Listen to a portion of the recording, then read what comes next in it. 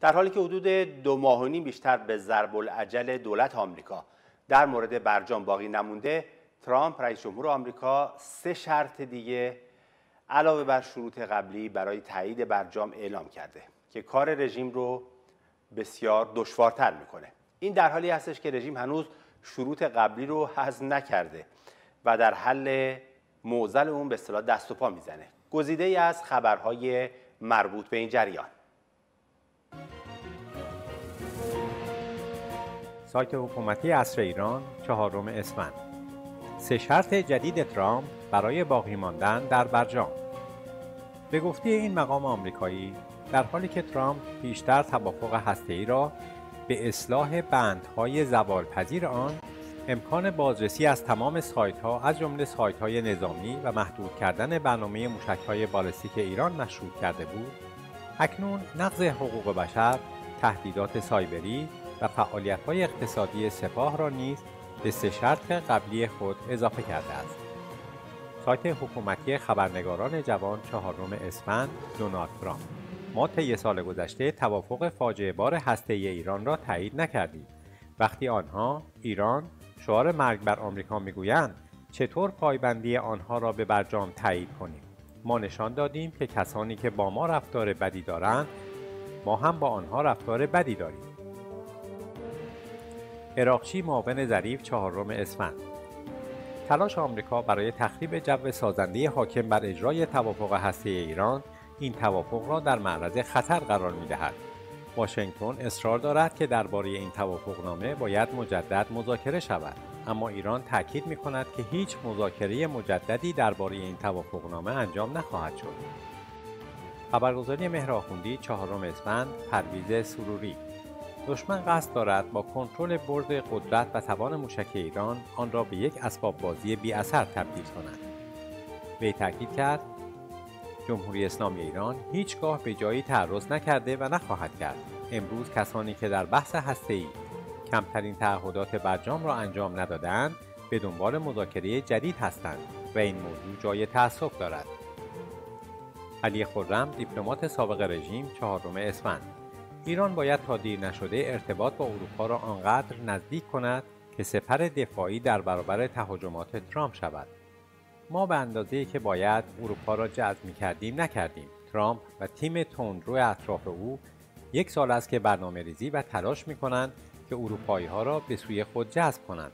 اما اروپایی ها به دلیل حقوقی با این تلاش ترامپ همراهی نکردند. با این حال اگر ما نقش لازم را در جذب اروپایی ها ایفا نکنیم هیچ بعید نیست که آنها به تدریج به سمت ترامپ بروند. یک نمونه از عدم تلاش لازم ما برای جذب اروپایی و نتیجه دادن تلاش های ترامپ در قضیه یمن به وقوع پیوست و دیدیم که بریتانیا و فرانسه علیه ایران موضع گرفتند. تلویزیون رژیم چهارم اسفند. بحثی که آقای مکمستر مشابه امنیتی ترامپ داشت و علنا اعلام کرد که کار با جمهوری اسلامی یعنی کار با نهادهای نظامی جمهوری اسلامی و اعلام کرد به حضاری که اونجا بودن و خب خیلی از اینها افرادی هستن که در حوزه بزینس و مباحث تجاری حضور دارن رؤسای شرکت ها میان فعالیت های این تیپی هم درش زیاده در این کنفرانس. اعلام کرد که اگر شما با ایران کار بکنید انگار که چک نوشتید برای نهاد نظامی در ایران. این حالت رو ایشون مطرح کرد که این نقض فاحش بند 29 برجامه در در خبرها و در گزارشی که الان دیدیم و شنیدیم اومده بود که دیشب ترامپ رئیس جمهور آمریکا شرطهای خودش برای تعلیق تحریم ها و تایید برجام رو افزایش داده. در مورد معنی و پیامدهای این اقدام گفتگویی داریم با علیرضا مدنچی. با سلام خدمت شما و تشکر از شما. خواهش می‌کنم. منم به شما سلام می‌کنم. همینطور عرض سلام و درود دارم خدمت هموطنان عزیز و بینندگان گرامی سیمای آزادی. بله. سوالی که آیا واقعا ترامپ شرط های جدید رو به برجام به اصطلاح اضافه کرده یا نه؟ یک موزگیری کرده مثل سایر موزگیری هایی که تا حالا کرد البته خود ترامپ این حرفها رو در یک کنفرانس مربوط به جمهوری خواهان اونجا در یک سخنرانی گفت و حرفی که اونجا زد اساسا راجع به دادن پول میلیاردها دلار پول در دولت قبلی آمریکا توسط دولت قبلی آمریکا به رژیم بود رژیم ایران.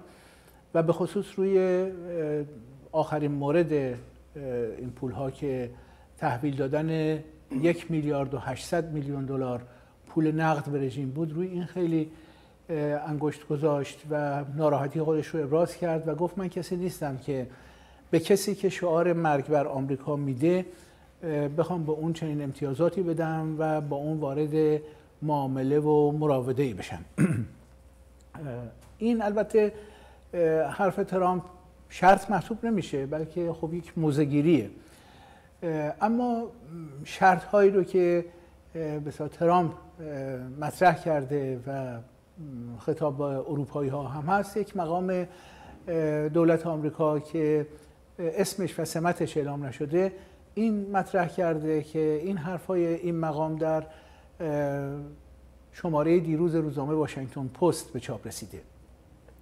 بنا به گفته این مقام رئیس جمهور آمریکا شش زمینه رو برای همکاری با اروپایی ها تعریف کرده که اگر می‌خوان با اروپایی ها کار بکنن شامل این موارده که رژیم ایران باید در سه زمینه نقض حقوق بشر و همچنین فعالیت های سایبری یا در واقع نقض قوانین سایبری و همچنین فعالیت های سپاه پاسداران با اینها تکلیف خودشون رو روشن بکنن. به این ترتیب این سه شرط اضافه میشه به اون شروطی که قبلا رئیس جمهور آمریکا اعلام کرده بود که اون شرط ها عبارت بود از اینکه یکی اینکه رژیم بایستی اجازه بازرسی فوری از تمام سایت های مورد سوء زن خودش رو به بازرسان بین المللی بده. دوم اینکه بایستی تضمین بکنه که هرگز و هیچگاه به ساخت سلاح ای نزدیک نخواهد شد. سوم اینکه این تعهدات هیچ تاریخ انقضایی نداره و ابدی هستش و چهارم اینکه باید صریحا موشک ها رو موشک های دوربرد و بالستیک رو جزء غیر قابل تفکیک از تسلیحات هسته‌ای بدونه و اینها رو هم به مورد به تهدید و منظورم محدود شدن قرار بده. حالا معنی این سه شرط جدید چی است یعنی هم معنی چی؟ هم که چه پیامدهایی داره؟ خب پیامدهاش که مشخصه و در واقع معنیش اینه که حلقه محاصره و حلقه انزوا برای رژیم بسیار تنگتر میشه و در نتیجه شرایط برای یک توافق بعدی برای رژیم خیلی سنگینتر و سختتر میشه. چون که این شروطی هست که رژیم اگر که بخواد برجام باقی بمونه بایستی به اونها متحد باشه. اگر که همونطور که ارز کردم بخواد پای مثلا همین حفظ برجام بمونه و توافقی که روحانی اون رو برد برد توصیف می‌کرد و خب اگر رژیم این شروط رو بپذیره دیگه یه همچین اسمش دیگه توافق نیستش بلکه اینا شروطیه که به رژیم دیکته شده و رژیم بایستی اونها رو بپذیره. اگر هم نپذیره اون وقت بایستی تن بده به پیامدهای رخیم این قضیه. که عبارت خواهد بود از برگشتن اولا از بین رفتن برجام توسط دولت آمریکا و برگشتن شرایط و وضعیت به همون دوران قبل از برجام. یعنی به همون تحریم های خفه کننده که اصلا رژیم به خاطر این پای برجام اومد و برجام رو پذیرفت.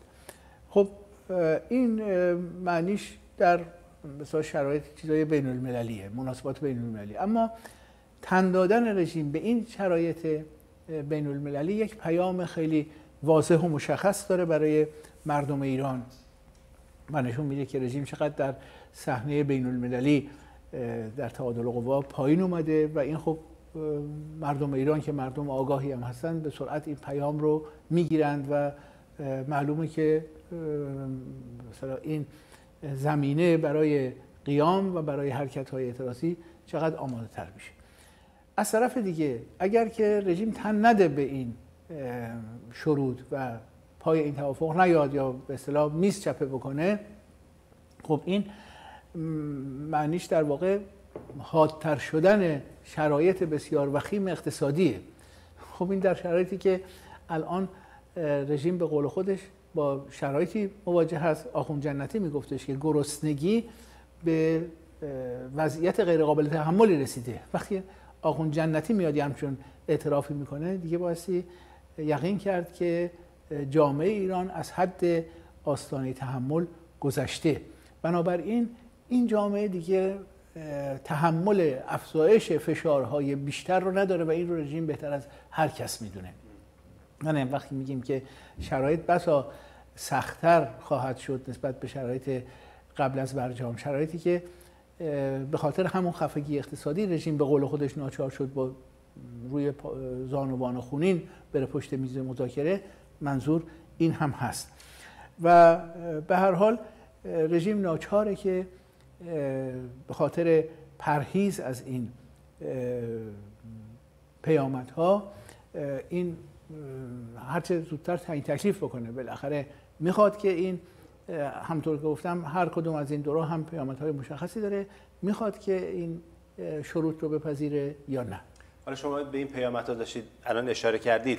این پیامدها شامل چه چیزهایی هستش؟ ببینید عرض کردم اگر که رژیم این شروط رو بپذیره معنیش در واقع تسلیم هستش.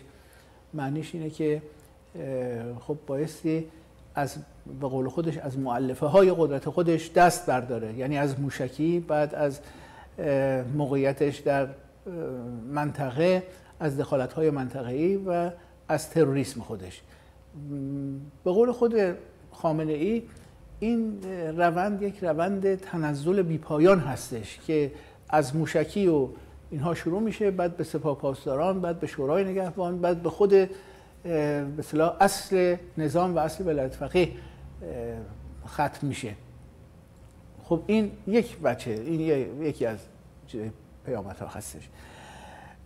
اگر هم دست به بخواد مثلا ایستادگی بکنه در برابر این شروط آمریکا در اون صورت همونطور که عرض کردم باستی پیه مثلا حرکت های اعتراضی بسا شدیدتری رو نسبت به قیام دیما به جان بخره و به تن خودش بماله.